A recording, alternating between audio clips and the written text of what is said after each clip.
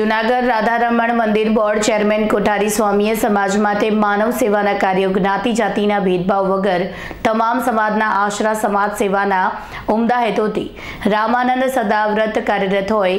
લેવ સ્વામિનારાયણ મંદિરે જે મહાતીર્થ લોજપુર તરીકે પણ ઓળખાય છે. જે આવતા દર્શનાર્થીઓ હરિભક્તો માટે રહેવા જમવાની સુવિધા સાથે આશ્રય મળે તે કામગીરી કરવામાં આવી રહી છે.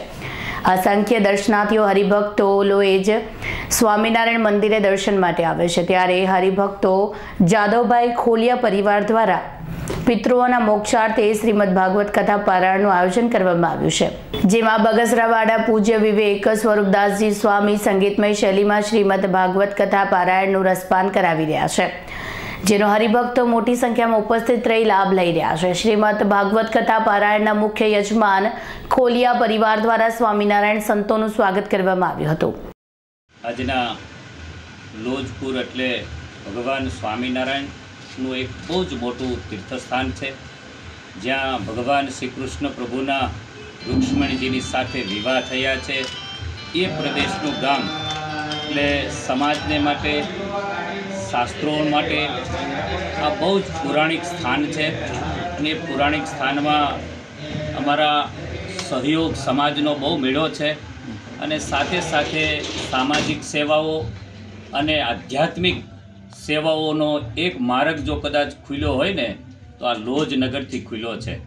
એટલે લોજમાં હર કોઈ વ્યક્તિ ભગવાન દ્વારકાધીશના દર્શન કરવા જતું હોય અથવા દ્વારકાધીશના દર્શન કરીને ભગવાન સોમનાથ મહાદેવના દર્શન કરવા જતા હોય, એમને રસ્તામાં આ એક બહુ જ મોટા આશરા સ્વરૂપ અને સમાજમાં હર કોઈ ધર્મનો વર્ગ હોય, હર કોઈ વ્યક્તિ હોય, એમાં નાત જાત, ભાત કોઈ જોવાનું આવતું નથી. અહીંયા રામાનંદ સ્વામીએ સદાવ્રત ખોલ્યું છે અને એ સદાવ્રતને કાયમને માટે સાકાર સ્વરૂપ આ બધા સંતોએ આપ્યું છે. અને એમાંય અત્યાર સુધી જે વયોવ્રત વડીલ ચૈતન્ય સ્વામી હતા અને એ ચૈતન્ય સ્વામીએ શરૂઆત કર્યા પછીએ પણ વિશેષને વિશેષ બળ, શક્તિ અને સમાજની સેવા થાય એ ઉમદા હેતુથી અમારા જુનાગઢ રાધારમણ દેવ ટેમ્પલ બોર્ડના ચેરમેન કોઠારી સ્વામીએ બહુ સારો પ્રયાસ કર્યો છે. હર કોઈ વ્યક્તિને તન, ધન અને મનથી સેવા તો કરતા હોય છે, પણ સમાજની જે સેવાઓ, જે રોટલો છે એ સમાજને માટે બહુ ઉપયોગી છે. દવાખાનું પણ ફ્રી ચલાવવાનું, હર કોઈ માનવની સેવા માટેના કાર્યો કરી રહ્યા છે. આજે અહીંના બહુ સારા સદનિષ્ઠ ભક્ત એમણે ભગવાન શ્રીહરિને પ્રસન્ન કરવા માટે, પિતૃઓના મોક્ષને માટે એક બહુ સારી દિવ્ય ભાગવત કથાનું આયોજન અહીંયા થયું છે.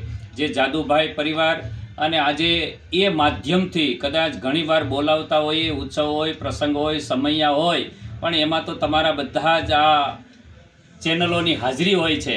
પણ આજે વિશેષ આ બધા જ વ્યક્તિઓ સમાજ સુધી જે તીર્થસ્થાનો છે, એનો સારો વિકાસ થાય. આ ટીવીના માધ્યમથી હર કોઈ વ્યક્તિઓ જોઈ શકે છે, જાણી શકે છે. અને તમારી ઉમદા સેવા ખરેખર આ કાર્યની છે કે જેથી કરી અને સમાજ સુધી નાના મોટા તીર્થો છે નાના મોટા ક્ષેત્રો છે, એ ક્ષેત્રોની જાગૃતિ જો લાવતા હોય, તો અમારા ટીવી ચેનલના માધ્યમથી આવતી હોય છે.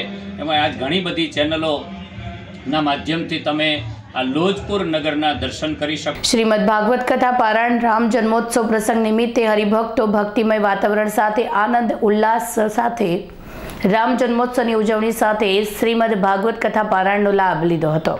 રાવલિયા મધુનો રિપોર્ટ કેસોદ